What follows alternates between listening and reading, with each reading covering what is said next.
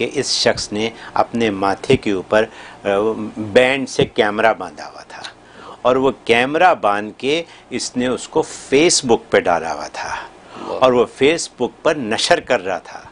یعنی کتنا دماغی طور پہ ہوشیار اور چلاک اور تیار ہو کے آیا تھا۔ یعنی پلاننگ اس کی دیکھیں کہ ساری دنیا میں اس نے دکھایا۔ اور کہنے کی بات یہ ہے کہ فیس بک نے اس کو روکا نہیں۔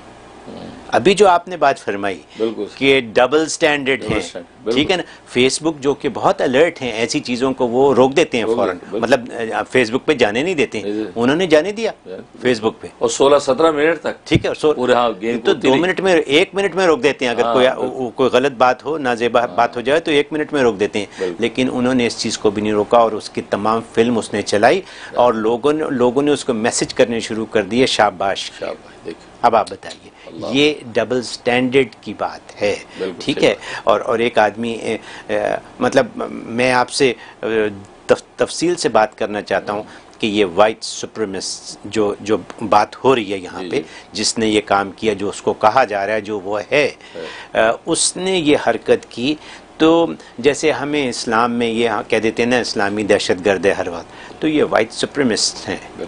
تو یہ یہ لوگ یہ کام کر رہے ہیں جو یہ سمجھتے ہیں کہ سفید چمڑی کے علاوہ کسی اور کو اس دنیا میں رہنے کا حق ہی نہیں ہے۔ بکیا ویڈیو دیکھنے سے پہلے ویڈیو کو لائک کریں رحم ٹی وی چینل کو سبسکرائب کریں اور بیل آئیکن پر کلک کریں۔ شکریہ۔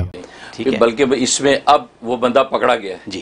اب اگر آپ عبرت دلانا چاہتے ہیں اس کو عبرت ناک سزا دیں۔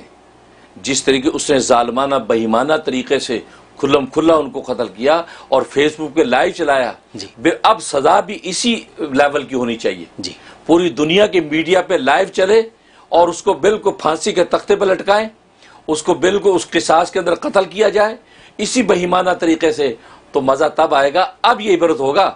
دوسرے وائٹ سپر مسٹ کے لیے جی۔ دوسرے کسی دہشت گرد کے لیے۔ لیکن ہوگا یہ کہ آپ دیکھیں نا چند دنوں کے بعد خبر آنا بند ہو جائے گی۔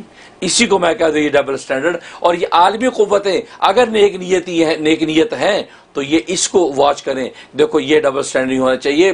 جس آدمی کی دہشت گردی اتنی آیا ہے یہاں تک کہ نیوزی لینڈ کے لوگ وہ کہہ رہے ہیں ہمیں ٹی وی پہ دکھاؤ نہیں ہم تو دیکھنا بھی نہیں چاہتے۔ ایسے ہی ہم اتنے زیادہ فرسٹریڈ ہیں اتنے اپسیٹ ہے کہ ہم دیکھنا نہیں سننا نہیں چاہتے۔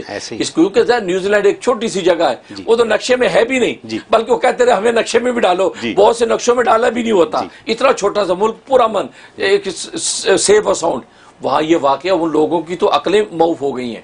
تو لیکن اب اب یہ عالمی قوتوں پر بھی یہ ذمہ داری بنتی ہے۔ خاص طور امریکہ سے میں درخواست کروں گا، اللہ نے اس کو وجاہت دی ہے، پوری دنیا کا سپر پاور ہے۔ یہ اب اپنی وجاہت کو استعمال کرے اور اس کو کڑی سزا دلوائے۔ اور ایسی سزا دلوائے عبرتناک کہ آئندہ کسی بھی دہشت گرد کو سوچتے ہوئے بھی خوف آنے لگے۔